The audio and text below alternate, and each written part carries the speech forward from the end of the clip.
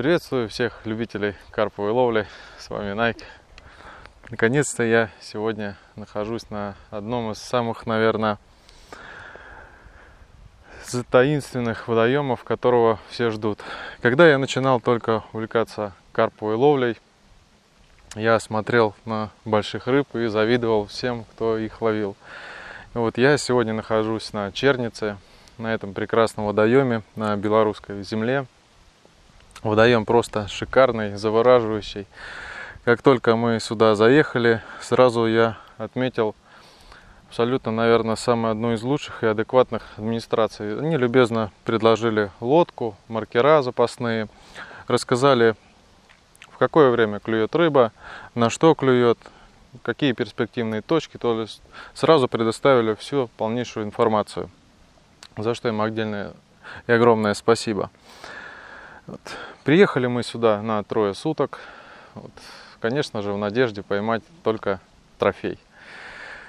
Недавно я свой побил рекорд, и теперь мой бигфиш составляет 10 килограмм 50 грамм. Совершенно случайно получилось это на турнире. Посмотреть этот ролик вы можете, пройдя вот под этой ссылочкой. А сегодня у меня в планах еще больше рыба. Вот, она здесь точно есть и в приличном количестве. Промаркерились, закормили местечко я завтра вам подробно расскажу о прикормке, которую я буду делать на втором замесе. Она будет абсолютно идентичная, полностью предназначенная для ловли крупной рыбы.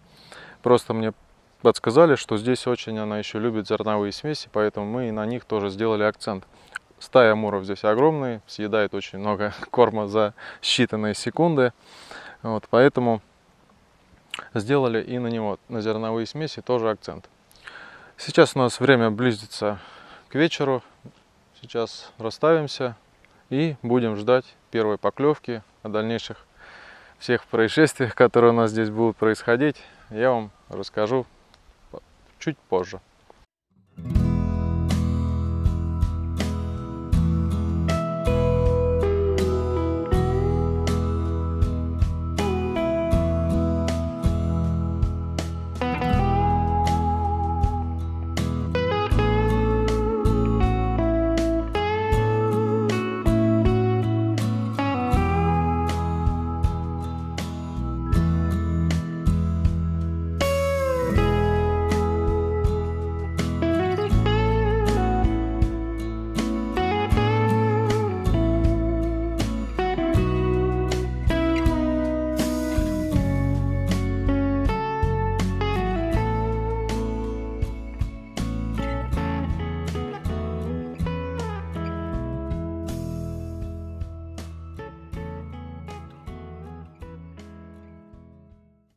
Что у нас подходит к концу первые сутки.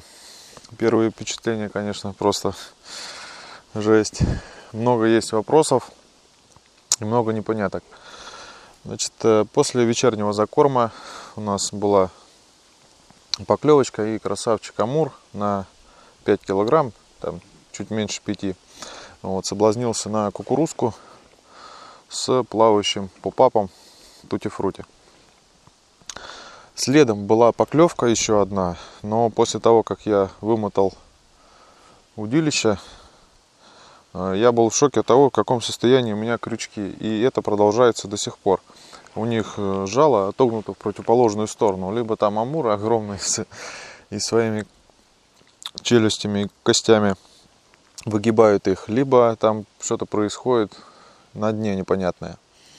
Вот я сейчас как бы имею 1, 2, 3, 4, 5, 6, 7 поклевок и из них 5 сходов. То есть э, пока мы не можем решить проблему сходов, э, монтажи, которые я до этого все делал на пятых, шестых и четвертых крючках, ну четвертый это у меня был ПБ продукт, и он чуть-чуть меньше фактического размера четверки, поэтому сейчас я поставил гарнеровскую двойку, фоксовскую двойку, четверку и тройку. Полностью перевязал все монтажи на данный момент у нас уже после обеденное время э, было 4 5 э, поклевок все были утром, начиная с 7 и последним была в 11 часов, но опять же таки досадные исходы. Рыба была очень крупная, но все сходы заканчивались примерно в 50-60 метров от берега. Утром удалось поймать нам карпика, что очень порадовало. Также небольшой, в районе там 5 килограмм. Значит, что еще хочется отметить по рыбе? Я таких виртуозных сопротивлений вообще никогда в жизни не видел. Это вот амура, повадки щуки, как он выскакивает. Вот мы буквально, вот, не знаю, запечатлило это все, это камера или нет, но такая свеча и мотание головой на, на поверхности, это просто, конечно, виртуозный. Дважды меня амур так обхитрил и сошел. А также радует те паровозы, за которыми я сюда приехал. Это просто жесть. Тут свистит шпуля так, что затыкает полностью сигнализатор. Рыба действительно очень тут сильная. Вот, к сожалению, все-таки мы не можем пока сфотографироваться с этими трофеями. Сейчас у нас чуть-чуть просветлело. Все утро лил дождь. Э, невозможно было что-то сделать, благо мой костюмчик новенький с этим справился и прошел отличный тест.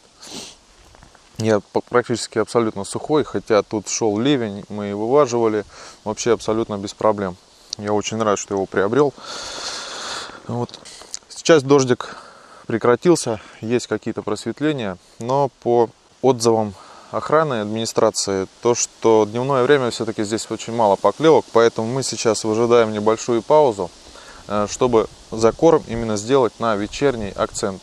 Потому что все-таки ночью нам придется докармливать с кобры.